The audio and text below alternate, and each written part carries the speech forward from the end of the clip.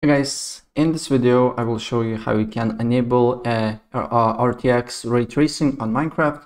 Uh, so the first thing we need to do here, we need to open up GeForce Experience and then you need to make sure that your uh, GPU is fully updated here. So open up GeForce Experience, go to drivers, check for updates and if there is an update for you that you need to download and install, please do so. And after that restart your computer and then make sure that you're running Minecraft on the latest drivers as well.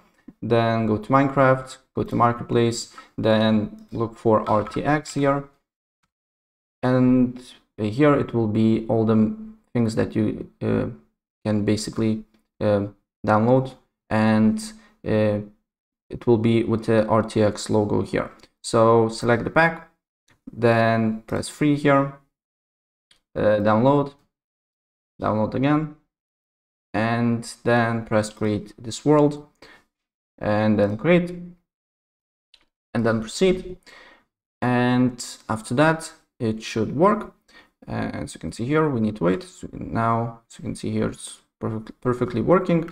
But if you don't know really if it's working or not then you need to go to settings.